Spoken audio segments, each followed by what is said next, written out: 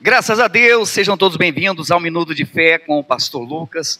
Prepare aí o seu copo com água, a sua peça de roupa, porque nesse Minuto de Fé nós vamos agir a nossa fé e Deus ele vai entrar em ação e tocar na sua vida em nome do Senhor Jesus. Estou aqui com a Bíblia no livro de Mateus, capítulo 8, onde fala aonde um homem, no minuto de fé, no minuto de esperança, buscou o Senhor Jesus e teve resultado.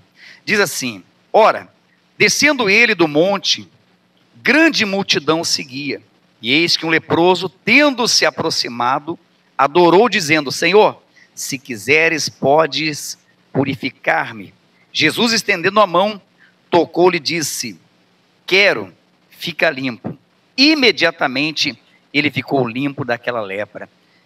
Veja que aquele leproso, vendo o Senhor Jesus se aproximar, naquele minuto de fé, de esperança, ele adora o Senhor Jesus e diz: Senhor, se o Senhor quiser, o Senhor pode me purificar, o Senhor pode me limpar, livrar dessa lepra.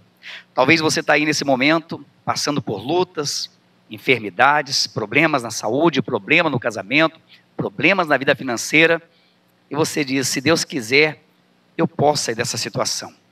E Deus quer e nesse minuto de fé, nesse minuto de fé, eu quero que você prepare aí um copo com água, porque nós vamos falar com Deus e Deus, ele quer e vai fazer um milagre na sua vida em nome do Senhor Jesus.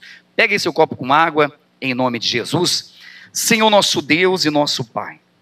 Ó Deus, em nome do Senhor Jesus, nesse minuto de fé, eu dobro meus joelhos e oro, meu Deus por essa pessoa que se encontra doente, aflita, enferma, desenganado pela medicina, vivendo abaixo de medicamentos, remédios controlados, pessoas, meu Pai, que vêm padecendo por mãos de médicos. Mas nesse minuto de fé, há dentro do coração dessa pessoa uma esperança, uma certeza de que, como o Senhor limpou, purificou aquele leproso, o Senhor também vai livrar essa pessoa de todo esse mal consagra, abençoa esse copo com água. Coloca nessa água o teu poder e a tua virtude.